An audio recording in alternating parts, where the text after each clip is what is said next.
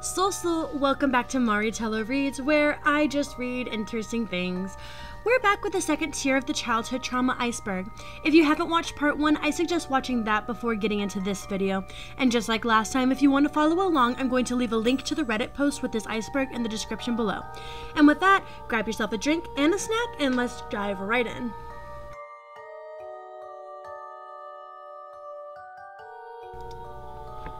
Herobrine is a supposed Minecraft mob that is in the hostile category. I went over the categories in part 1 if you need a refresher on the Minecraft mobs. This one apparently seems to have world-changing abilities like Steve as well. No one has ever been able to definitely prove that Herobrine exists, so we don't know for sure if this mob is real or not. The idea of coming into your Minecraft game to deal with the hostile mob that can alter the world could be worrisome for a child.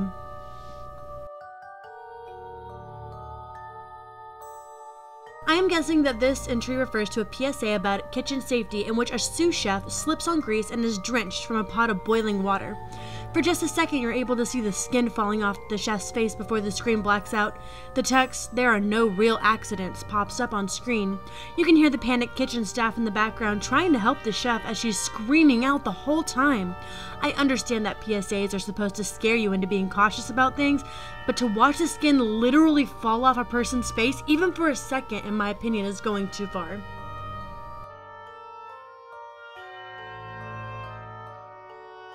I Feel Fantastic is a classic creepy YouTube video. It has since been taken down, but there are always re-uploads, of course.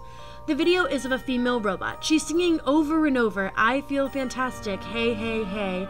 And while I'm sure this video was supposed to demonstrate the audio of the robot, as if I believe right, that was a big breakthrough for that time, something just feels off about the video.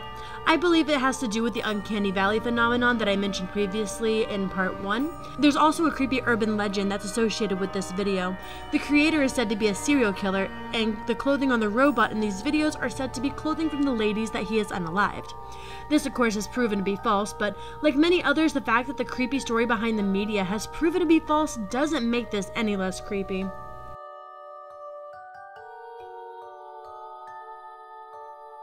This is most likely referring to an episode of Tom and Jerry where Tom temporarily takes a visit to hell. I won't go too much more in depth on this one since the entry title sums it up pretty well. I'm not going to elaborate much more when it's right there. However, I will say this I'm not sure what the animators were thinking of putting something like this in a children's show, but it was very disturbing for a lot of these children.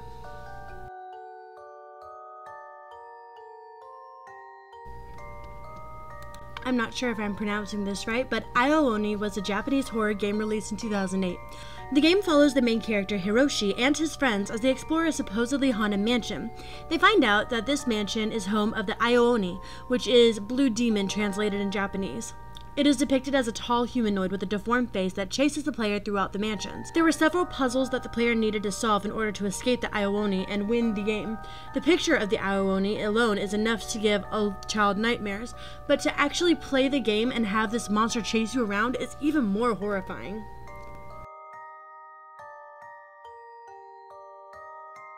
This is the animation studio that has worked on shows like Jimmy Neutron and made the Ant Bully movie. I'm guessing that this has to do with the mascot that would appear at the end of the project, Paul. Paul was a three-eyed chimpanzee that was comical, but the appearance did scare some people. It freaked out one of my little sisters as a kid so much that they'd close their eyes as soon as the Jimmy Neutron was over so they didn't have to see him. I always thought that he was kind of cute, but the 3D animation that they used for the projects was already a bit creepy, so I can understand why others found this disturbing.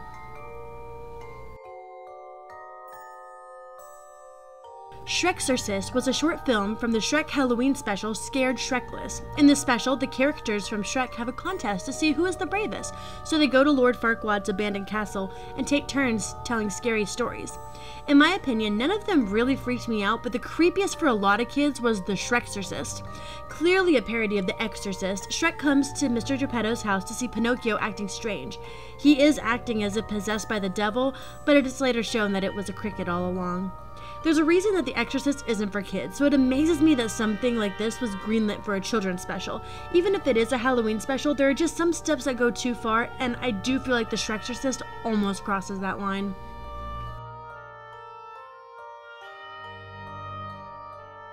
Now, I am probably going to get a lot of hate for this, but I've never actually seen Bambi to my recollection in its entirety. I've never really liked movies or shows, even as a kid, that focus on talking animals. I don't know why, I just don't like them that much. So I know that this is a super traumatic and sad part of the movie for a lot of people because Bambi's mom is shot by a hunter and Bambi walks around the forest calling for his mother.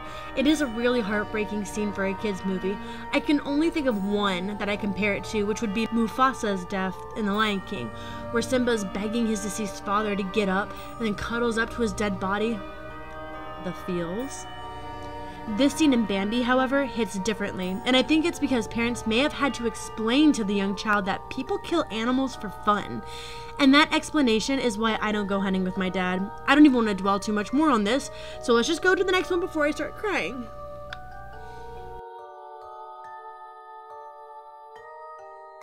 The lengths that game developers will go in order to protect their games from piracy or people using cheat codes is amazing.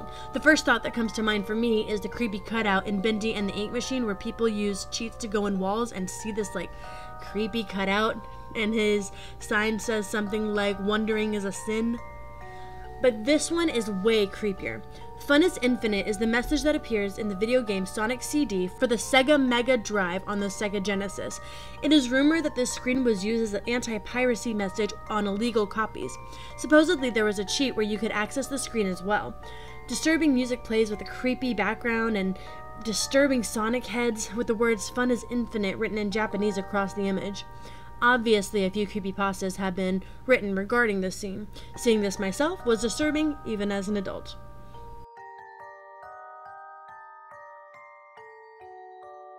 Maynard the Moose is the mascot used in wine gums ads.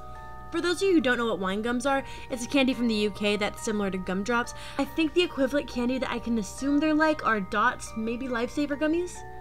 Anyway, the commercial plays with a man pushing the button to use the elevator, only for the doors to open and reveal Maynard the Moose saying, Chew, chew, chew repeatedly. Some circus like music plays, and Maynard's eyes become swirled in a stereotypical hypnotic way. The man is drawn in and is encouraged to keep chewing his wine gums, and while Maynard's antlers are caressing his jaw to encourage chewing. It's really weird, and I can see why this creeped a lot of people out. The commercial's creepiness reminded me of the more modern Trolli ads. oh.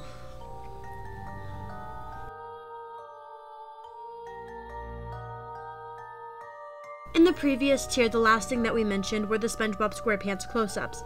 Well, this is an iconic one. In the episode Wormy, Sandy has to go out of town and has asked SpongeBob and Patrick to pet sit. There's a worm named Wormy that the two automatically become attached to.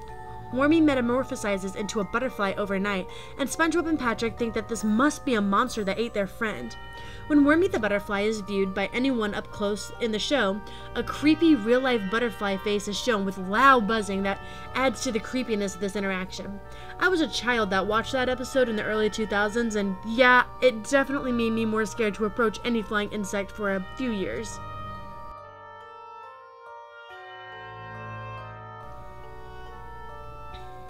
FNAF itself is creepy on its own, but the YouTuber Mr. Creepypasta made some audio of the animatronics titled Hidden Lore. The animatronics malfunction and creepy ghost voices are heard in between. I'll play a small amount of one of these videos now. And all you young bunnies need to have your, your carrots. Please run. Health is important if you want to live, live, live, live, live, live. Have a fun and happy children. Fun and happy time. Freddy Fazbear's These are very creepy and also very impressive they took the time to make the videos, but every time I heard these, I just pictured myself walking around an abandoned Freddy Fazbear's with the animatronics still talking but broken. It's not a happy thought, but then again, neither is the FNAF story.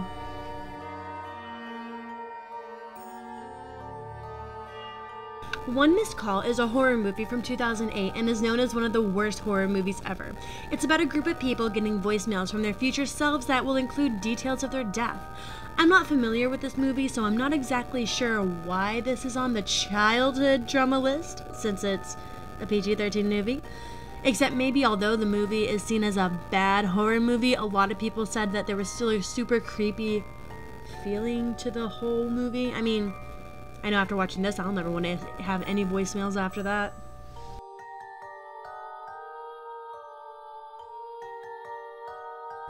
One of my favorite shows on Cartoon Network was Foster's Home for Imaginary Friends. For those who never saw this or don't remember the show, Foster's Home for Imaginary Friends was about a kid named Mac who had an imaginary friend named Blue who lives at Foster's, which is basically a shelter for imaginary friends. It's run by Madame Foster and her granddaughter Frankie, who take care of the imaginary friends until they are adopted. The show follows the adventures that Mac and Blue have with the other imaginary friends of the home. This entry is referring to an episode where Mac gets a drop of candy into his system at a party.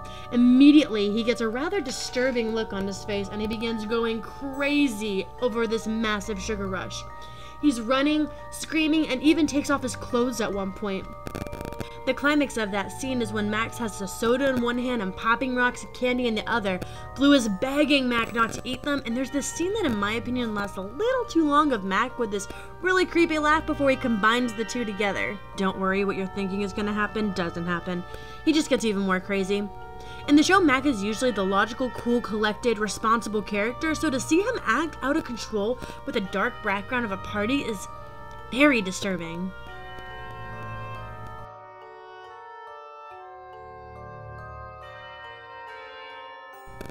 Three Lame Studio is an animator who makes a lot of weird parodies of TV shows, and there's a lot of twerking videos and crossovers. I pray none of you have to ever watch the Donald Trump twerking video. Some things that he makes parodies of include Angry Birds, Teen Titans, Ben 10, The Cleveland Show, and The Simpsons. This, I believe, is on here for the same reason as a couple more videos, like in part 1. Like Elsa Gate stuff. These are parodies of popular kids shows and turning them into something twisted. There's probably going to be more of these as we go through the iceberg.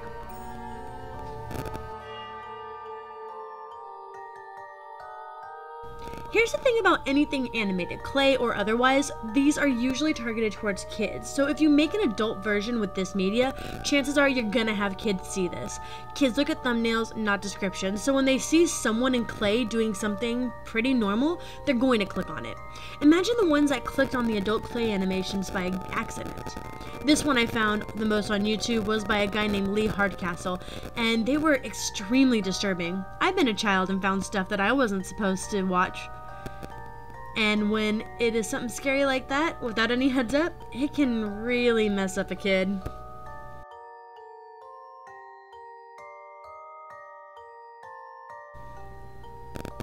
Kids these days have It from 2017, but us 90s kids had the original Pennywise. My mom was a huge Stephen King fan, so naturally we owned a bunch of the books and movies.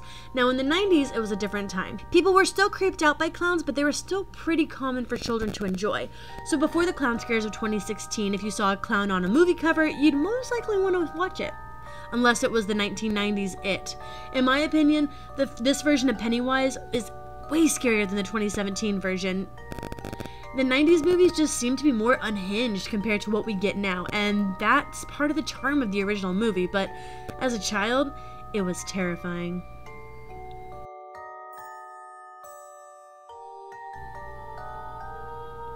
Blizzeta is a character from The Legend of Zelda Twilight Princess. In Snow Peak Ruins, Link and Yeta find the second shard of the Twilight Mirror, but as she stares at it, Yeta becomes possessed by the mirror shard. She begins to twitch, turn to Link, and reveals a terrifying face transformation. Scares like this in kids' games are extremely traumatic for anyone unlucky enough to be affected by them, and Blizzeta is a perfect example of that.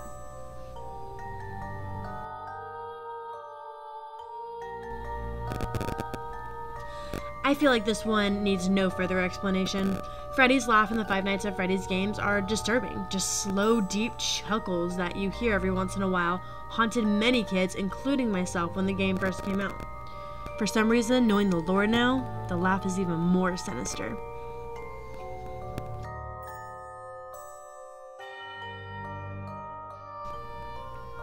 Framed Roger Rabbit was a unique movie for its time, having live action and cartoons combined into a wacky world. Not a lot of movies did that at the time.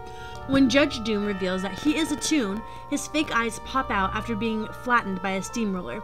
And when this happens, we see a cartoonish red eyes revealed. He inhales some helium and, with the terrifying new look, lets out a high pitched scream. If you weren't expecting it, this would be terrifying to see on TV. On a side note, Christopher Lloyd did an incredible job on this character. I know my first time watching this movie, it gave me nightmares.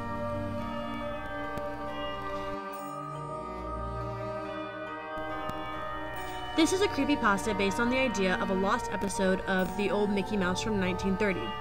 In this, Mickey is walking down the street, sad and miserable for what seems like forever, and at the end, he gets home and unalives himself. The film, of course, doesn't exist, but you can find remakes of it on YouTube. The story goes that the film is cursed, and if you watch it, you will eventually unalive yourselves. It's a creepy video with a creepy story, and I personally feel very uneasy watching the remakes of it.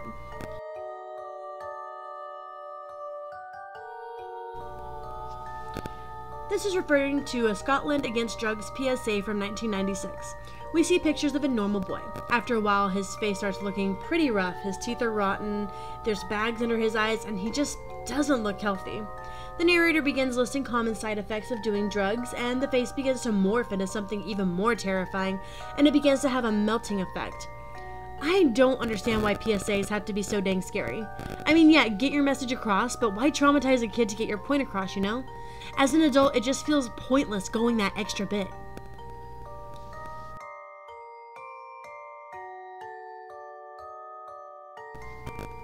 I have absolutely no clue what this could refer to. I looked this up, I couldn't find much to it. There's a creepy picture that looks fan made floating around that's pretty terrifying, but there's only been a couple moments where Shy Guy's mask has ever actually come off, and the player's not supposed to see those moments. In Luigi's Mansion, you can accidentally suck off a Shy Guy's mask, but there's just two yellow eyes. And in Mario Power Tennis, Shy Guy trips when running over to Luigi, and if you angle the camera right, you can kind of see what's under the mask, and it's nothing. Maybe that's the creepy part? Shy Guy has no face. I'm not really sure.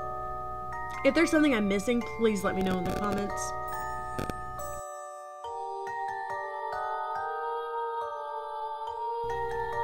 Willy Wonka and the Chocolate Factory is one crazy ride. All these kids get an opportunity to tour a secret chocolate factory, only for them to be horribly injured or disfigured. In my opinion, the entire movie is creepy, and it's probably why I don't like chocolate. Yeah, yeah, I don't like talking animal movies and I don't like chocolate. I sound like a fun person. But this not so fun person is making the content that you watch. So let me shamelessly remind you at this time that you've watched this long and you probably like what you see. So why not click that little old subscribe button? And while you're over there, why not click that neato little bell so you're notified when I make new videos? It helps the channel out and lets me know that you want more videos like this. And now that my shameless self promo is done, we can talk about Violet Beauregarde. Violet is a skillful, rude, self centered girl that finds a golden ticket to tour Willy Wonka's factory. Come to think of it, every kid is awful except for Charlie. Guess entitled kids are nothing new. Anyway, according to her, Violet is obsessed with chewing gum. So when she gets the opportunity to try Wonka's three course meal gum, she snatches the gum from Wonka and tries it herself. Wonka warns her several times to not do it, but she refuses to listen. She gets an appetizer of tomato soup, roast beef and baked potato for the main course, and for dessert, blueberry pie. But this isn't just a taste of blueberry pie. Violet begins turning, well, violet. She starts inflating like a blueberry, and according to Wonka, if she's not taken to the juicing room quick enough, she'll explode. What a terrifying thing to see as a kid. That would keep me from not chewing gum ever again. I think it fits with the inflation scenes from Tier 1 as well. No, that is not what it is. I checked. No, we're not talking about this again. This is an iceberg about stuff that isn't hint. Ah, that doesn't look like it belongs in Animal Crossing. This bunny looks like a lost pet from the Lalaloopsy universe. Coco is a rabbit from Animal Crossing, and it only takes a second to figure out why this Missy is on the list. Look how creepy she looks compared to the other villagers, and she is referred to as a normal rabbit. That is not a normal rabbit, first of all. She looks like a bunny voodoo doll. Yeah, this rabbit was staring at me with those lifeless eyes. I'd be creeped out. I don't even play Animal Crossing, but if I did and I saw that, I wouldn't touch the controller for a couple days to ensure that that wasn't a nightmare. This is like ridiculously creepy, and I'm not sure what game developers are thinking.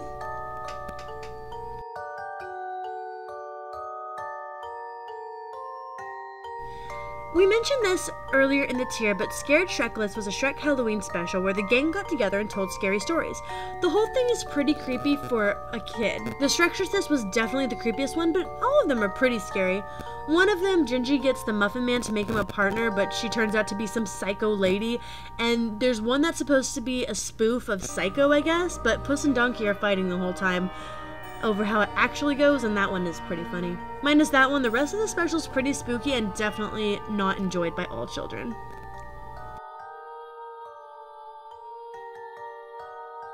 This, from what I was able to tell, was a YouTube video from Crazy Mario Bros. This was a guy playing with Mario plushies. They react to a 3am video. Mario gets struck by lightning and falls over after saying that he doesn't believe in all the demons and spirits. Mario is transferred to what I'm guessing is hell. When he wakes up, Mario's eyes are blacked out and he goes on a possessed rampage. Then he randomly wakes up again, but the demons are still trying to take control of him, so Luigi kills him. He comes back to life almost immediately, and that's about it. This currently has 1.9 million views. There's some spooky special effects, but it didn't seem very spooky to me.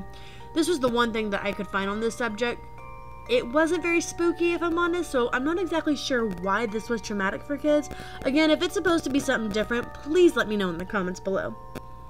And that was the second tier of the childhood trauma iceberg. If you want to see the rest of the iceberg, please let me know by dropping a like, subscribing to my channel, and hitting that notification bell. I typically post some kind of content almost every single day. If there are any other icebergs that I should check out, leave those in the comments below. Thank you all so much for watching, and I will see y'all in the next video. Goodbye!